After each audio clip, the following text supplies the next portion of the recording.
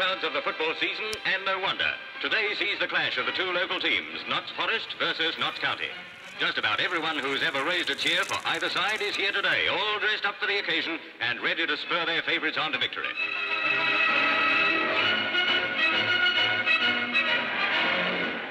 Ground's beginning to fill up. It'll soon be time. And here come the teams.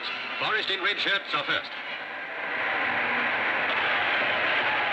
There's plenty of enthusiasm for the striped-shirted county boys as they come on.